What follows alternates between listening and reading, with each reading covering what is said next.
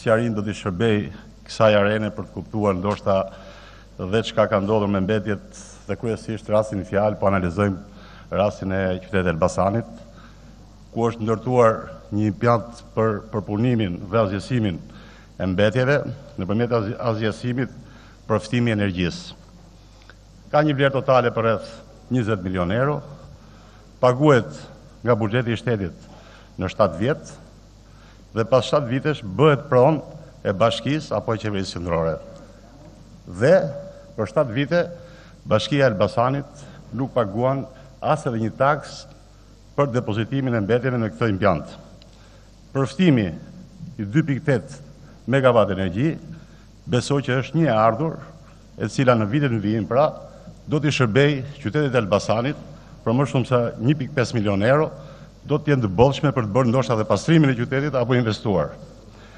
Të dëgjosh pastaj shifra, unë besoj janë keqinformime, këto janë kontrata të të bizetuar, çdonjëri nga ju mundet dhe t'i shohë dhe do dëshiroja shumë sepse përgjatë viteve si ministër mjedisi Kuptoj që fjala mbetje apo shpesh e përdorur dhe plehra irriton çdo qytetar, po qoftë dhe ky politikan, por nëse ne nuk mundemi dot të dëgjojmë njëri-tjetrin, nuk mundemi dhe t'i menaxhojmë mbetjet. Unë besoj se kemi bërë zgjedhjen më të duhur dhe si paralelizëm do t'ju sjell një tjetër investim i cili është në vijim dhe është mirë që bëhet, I nisur kjo që në kohën kur Partia Demokratike ishte në pushtet, investohet në qytetin e Vlorës një landfill, kjo kredi nga KFV-ja dhe ka një kosto depozitimi 25 euro për ton. Çka do të thotë Bashkia e Vlorës në përfundim të investimit, pra investimi është përreth 20 milionë euro, duke i falur taksat është 24 milion euro dhe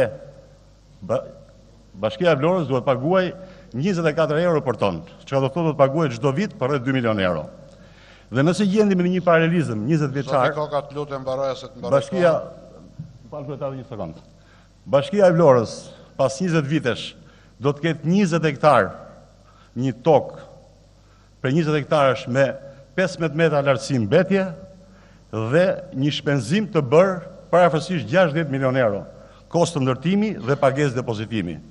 Ndërsa rasti në fjalë i Elbasanit, jetëgjatësia është mbi pesëdhjetë vjet dhe pas njëzet viteve ky investim është vetëpaguar dhe ka filluar tashmë të fitojë një pikë tetë milionë euro në vit. Ndaj unë mendoj që është për të qenë më të qetë dhe për të diz, mos dizinformuar qytetarët. Unë e kuptoj që është një teori e një mikut tim gjithnjë thotë nëse ke inat dikë, shko tek shefi i tij dhe i thuaj sa gentleman është, të qeras, të fal para sepse shefi do merret me atë. Dhe sot i flasësh të varfërve, të varfërve për shifra dhe sidomos mjedis, armiku më i madh është varfëria. Do të dëgjojnë sot shqiptarët shifra 400 milion, 800 milion dhe ndoshta një ditë me shi sot kanë problematika për të jetuar. Unë besoj që nuk i shërbejmë menaxhimit të mbetjeve dhe aq më shumë nuk i shërbejmë politikës në tërësi. Dhe ka një gjë që dua ta evidentoj. Ne Kemi qenë aleat me Partinë Demokratike, me Partinë Socialiste, ka qenë Partia Demokratike me Partinë Socialiste dhe bashkëqeveriset. Dhe nuk duhet kurrsesi t'i keqpërdorim të pushojmë në pranverë dhe të çelim në vjeshtë për interesa shumë të vogla pra bashkëqeverisje apo interesa politike. Mbetjet janë problem kombëtar. Kemi 380 landfille. Nëse duhet venddepozitime, më falni.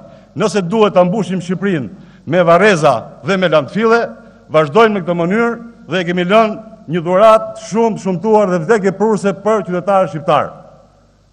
Nëse vazhdojmë në këtë rrugë, besoj po i bëjmë shërbimin më të keq qytetarëve duke i keqdizinformuar. Faleminderit.